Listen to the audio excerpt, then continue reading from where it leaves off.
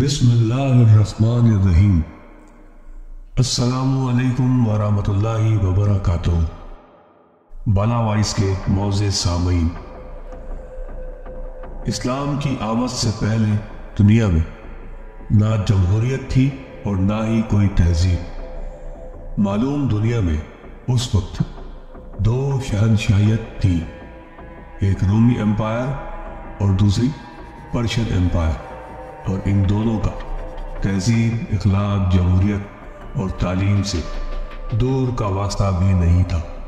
اور مزے کی بات، یہ دونوں امپائر دو خاندانوں کی نسل در نسل غلامی میں تھے۔ اور ان دو خاندانوں نے دنیا پر اپنی حکومت برقرار رکھنے کے لیے اس زمین پر آباد انسان کو مستقل اپنا محکوم بنائے رکھنے کے لیے انہیں تعلیم سے محروم رکھ۔ ان پر ظلم و جبر سے حکومت کرتے تھے۔ غرض کے دنیا گھٹا ٹوپ اندھیروں میں ڈوبی ہوئی تھی۔ جیسا کہ آج کل ہمارے وطن عزیز پاکستان کا حال ہے۔ یہاں بھی دو خاندان قابض ہیں۔ سامعین، یہ اسلام اور مسلمان ہی تھے جنہوں نے دنیا کو تعلیم کے زیور سے آراستہ کیا۔ جدید تہذیب کی بنیاد رکھی، انسان کو انسان کا احترام کرنا سکھایا۔ رشتوں کی قدر بتائی۔ اخلاقی و معاشرتی اقدار متعین کی۔ ترقی کی نئی جہتیں دریافت کی۔ جس وقت یورپ حیرت وحشت دہشت اور بربریت کا شکار تھا، اس وقت کرتوا اور بغداد میں سائنس عروج پر تھی۔ رسد گاہیں قائم تھی۔ فلکیات و طبیعت میں مسلمان ترقی پر گامزن تھی ریاضی میں نت نئی ایجادات ہو رہی تھی۔ ہوائی جہاز مسلمانوں نے مبارے کی شکل میں ابتدائی طور پر ایجاد کیے۔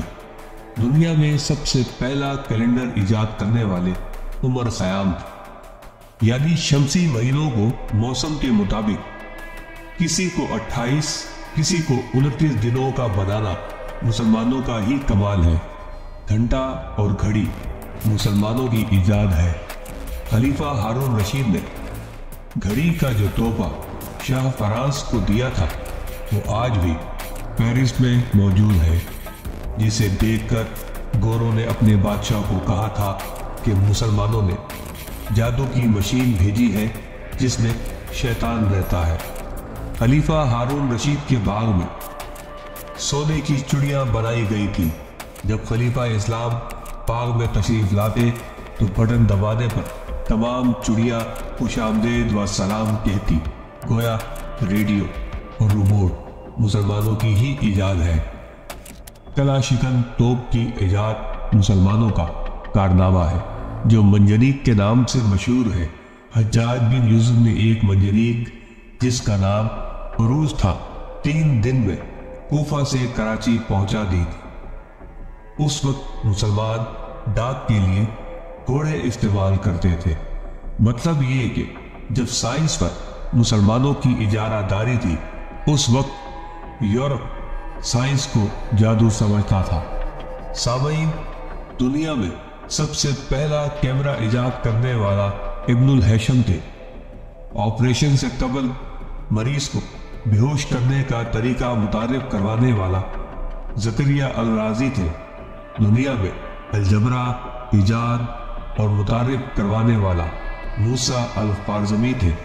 سن انیس سو ستاون میں شیمپو ایجاد کرنے والے محمد تھے۔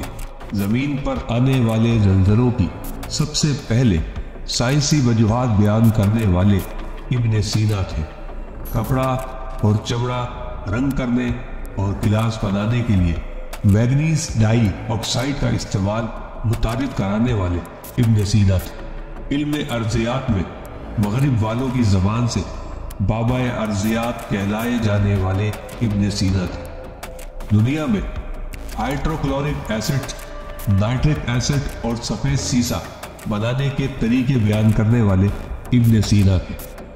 کیمیکلز بنانے اور ایجاد کرنے میں بابائے کیمیا کہلائے جانے والے ابن سینا ہی تھے۔ روشنی کی رفتار کا، آواز کی رفتار سے تیز ہونے کا انکشاف کرنے والے البیرونی تھے۔